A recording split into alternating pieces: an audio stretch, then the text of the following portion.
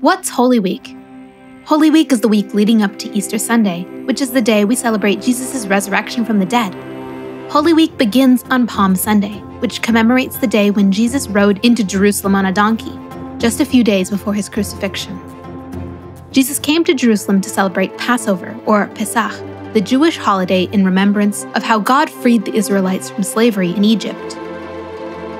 As part of the Passover celebration, an important ritual in ancient times was the sacrificing of a lamb, called the Paschal Lamb.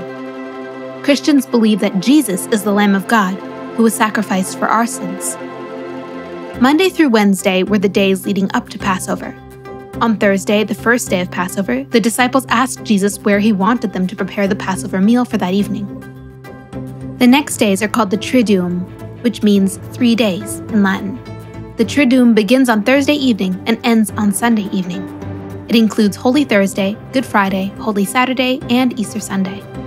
On the evening of Holy Thursday, Jesus washed his disciples' feet and celebrated the Last Supper with them.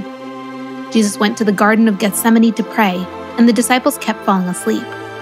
Then he was betrayed by Judas and arrested. That night, Jesus was questioned by the high priest and Pontius Pilate. On Good Friday, Jesus carried his cross to Golgotha, where he was crucified in the morning. He died and was buried Friday afternoon. On Saturday, his body lay in the tomb. Then, early Sunday morning, the tomb was found empty. On Easter Sunday, we celebrate Jesus' resurrection from the dead. This is the most important day of the year. Jesus defeated death and gave us the hope of eternal life. Let's not forget that Easter Sunday is just the beginning. The Easter season lasts for seven weeks until the Feast of Pentecost. We spend this time rejoicing at God's endless love for us. Don't forget to like and subscribe. You can also support Catholic Kids Media on Venmo or Patreon using the links in the description. Thanks for watching.